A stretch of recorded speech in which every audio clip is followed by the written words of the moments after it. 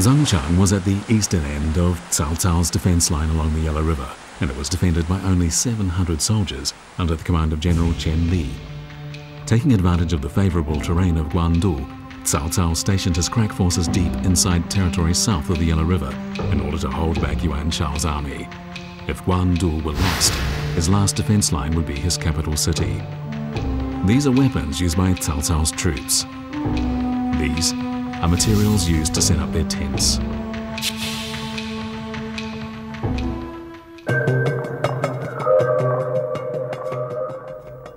Cao Cao's three lines of defense from the north to the south formed a multi-level and mutually supportive defense system deep inside the territory.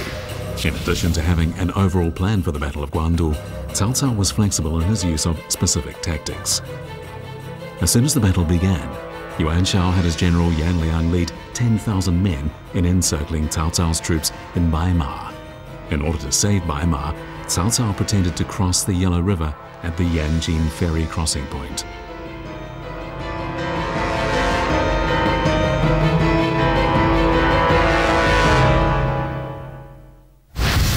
怎么声东击西呢？曹操不是率兵来直接解白马之围，而是 率兵向延津出发。延津和白马之间相距百里，哎，而且装作一种什么，要在延津渡河向这个呃袁绍的后方杀去，装出这样一种姿势姿态。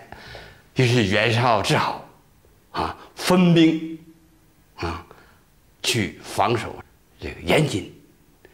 当那袁绍率兵延津方向出发时，这曹操呢突然做了改变。率率领精兵日夜兼程地奔赴了白马，而这个颜良呢没有做任何准备，在相距十里十余里的时候才发现，于是呢刚要组织防御，就被曹操手下的勇将张辽、关羽打败。关羽会一马当先，那么呢刺颜良于万军之中，取其首级而回。就这样，曹操的话用。声东击西的办法，解了白马之围，消灭了颜良的部队。Cao Cao's victory in the Battle of Guandu put him in control of China's north. After the battle, Yuan Shao's situation went from bad to worse, and he had to relinquish his position as northern China's number one to Cao Cao. But Cao Cao still had other enemies. How did he defeat these enemies and rise to prominence during this troubled period of the Eastern Han Dynasty?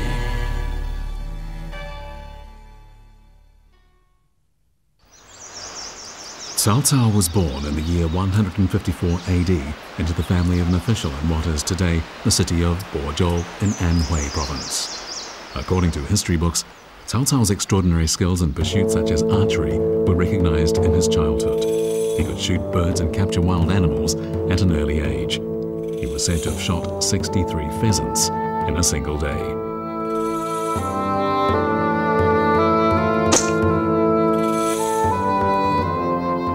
The empire of Cao Cao's childhood was one exhausted by domestic political disturbances and repeated invasions by ethnic minorities.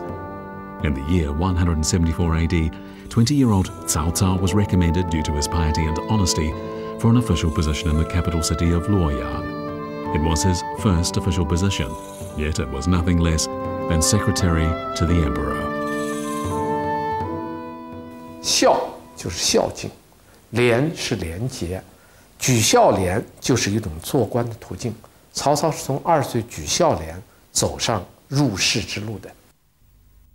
Ten years after Cao Cao became a government official, Zhang Jiao from Julu, Hebei, initiated the Yellow Turban Uprising.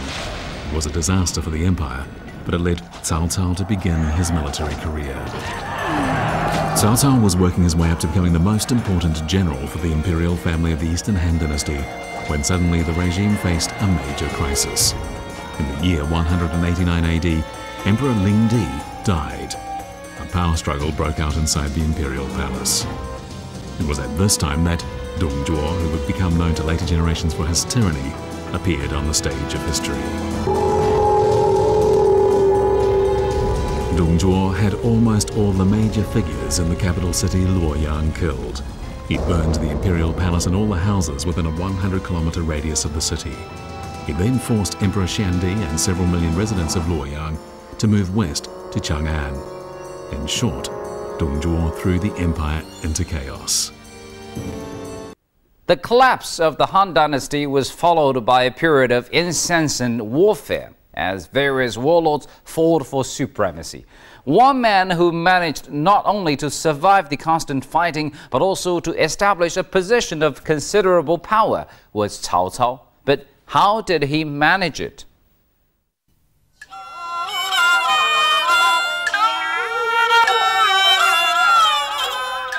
The ancient city of Xuchang stands on a plain created by the Yellow River. The people of the city, old and young alike, are fond of operas that tell stories about the Three Kingdoms period.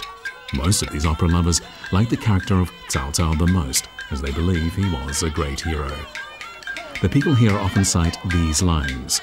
Whenever I want to know more about the Three Kingdoms, I like to travel to Xuchang.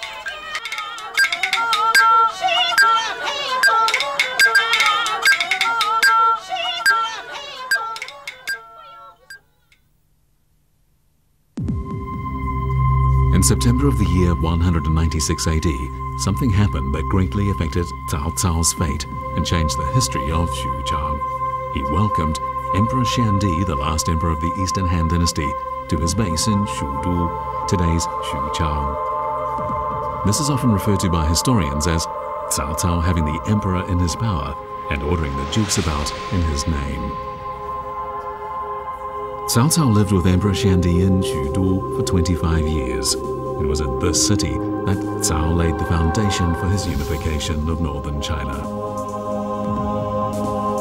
At the time, Emperor Xiandi owned nothing aside from his imperial robes. Why did Cao Cao welcome to Xudu this emperor who had no real power?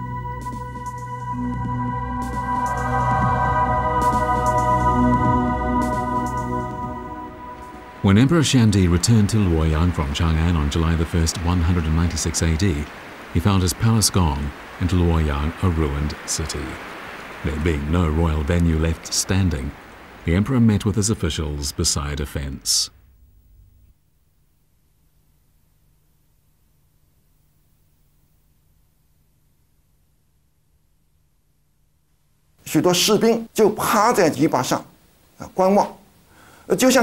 Many 啊，那么士兵们很多啊，大家都挤着看，互相这个嬉戏啊，大家跟看戏一样。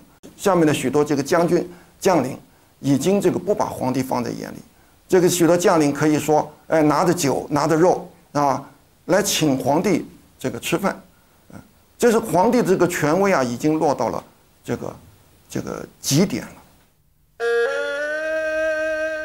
Officials and officers of the Eastern Han Court had to collect vegetables growing in the wild to feed themselves.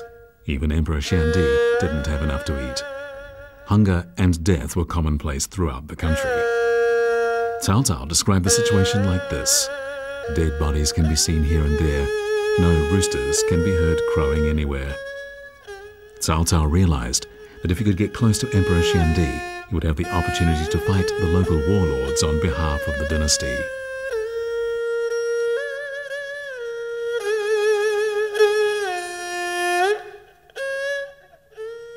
曹操在那个乱世格局之中，他首先发掘了汉献帝的价值。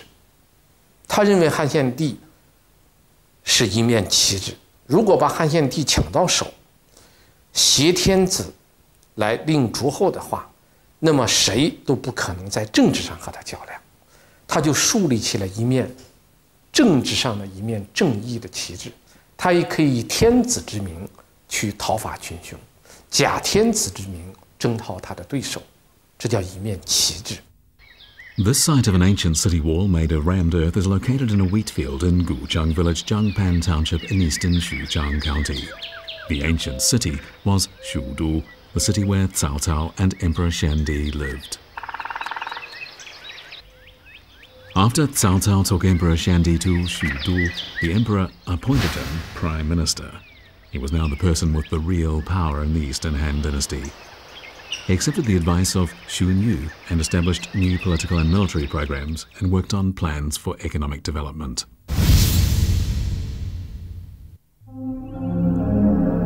But although Cao Cao now enjoyed political supremacy, militarily he was still in danger. Xudu was located on a plain that lacked natural barriers, and it was encircled by his enemies, Yuan Shao in the north, Lu Bu in the east, Dong Zhuo and Cao Cao's former officer Jiang Xiao in the south. Cao Cao believed, however, that his most pressing problem was inadequate provisions. In the year 196 AD, Cao Cao issued his regulations on establishing farms. Much land had been abandoned around the middle and lower reaches of the Yellow River due to the war. Cao Cao realized that under these circumstances, establishing farms in and around Xudu would help to address the food shortage problem. Historians refer to this as the Xuxia farming program. 先实行的呢，民屯，先实的是民屯，然后再实行军屯的，就是五十个人为一屯，啊，五十个人一屯，把这些 青州黄黄巾军这些家属啊，这些流民呐，啊，都组织起来，这为一屯，叫屯田科，屯田科。后来才又实行的是军屯，军屯呢是六十人为一营，叫电兵，啊，叫电兵，一边打仗一边来来，呃，这个这个屯田搞生产。Cao Cao's farms were in reality a new type of community that served both military and civilian purposes. Cao Cao himself was in charge of both the military and the farms. This is a stone roller used at one of Cao Cao's Xuxia farms. The diameter of such a stone roller could be as much as several meters. According to History of the Three Kingdoms, in their first year, Cao Cao's Xuxia farms brought in a bumper harvest, and this solved the long-standing problem with provisions and helped him in his war to unify China. Cao Cao's victory in the Battle of Guandu left him in control of China's north. However, despite his political supremacy, militarily he was still under threat. And yet, despite being surrounded by enemy forces, he succeeded in introducing economic reforms that ensured a bumper harvest. However, he still faced the problem of what to do about his enemies, some of whom were extremely powerful. To find out how he went about dealing with them, join us for our next episode about Cao Cao. And thank you for staying with us on today's New Frontiers. I'm Chi Xiaojun on CCTV International. Bye for now.